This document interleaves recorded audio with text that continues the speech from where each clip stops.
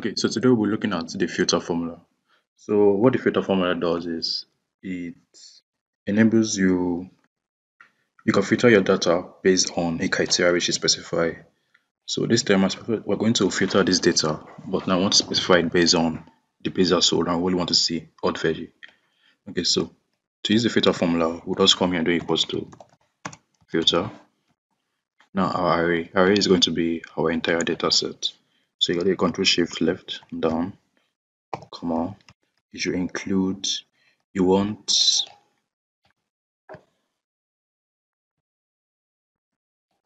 is equals to then now equals to this so equal to this. And then if if we can't find this what should it tell us? Return with not or even not available? I think that sounds better so when it's done, you close the bracket and you press enter. So another about the filter formula is also a dynamic array. So it says that it's when you use the formula, it cannot spill. So I did the formula here and it spilled here and it spilled over. So you can see all these lines. Okay, so this is what the formula does. If there was something in the cell before so let me let me copy this formula. Okay, so let me there was something here, maybe chicken.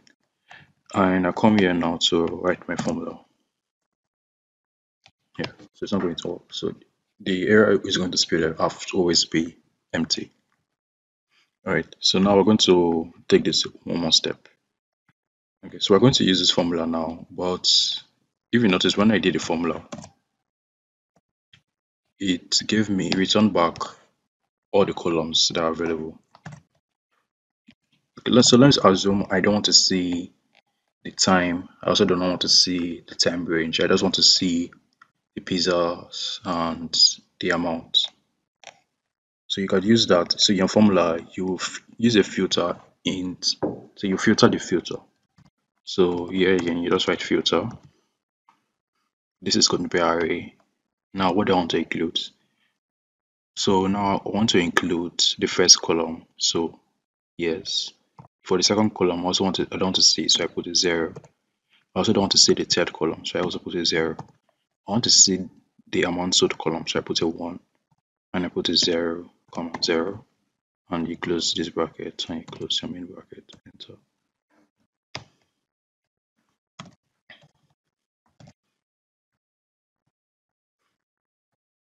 Okay, so as you can see, the now the formula only showed us the column which I specified. So that's how to use a filter formula to filter your data. That's how to use a filter formula again to also pick out.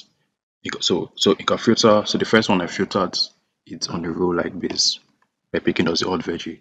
Now the second filter which I use kind of filtered it more from column base. So now I picked out the column I want from my entire data set.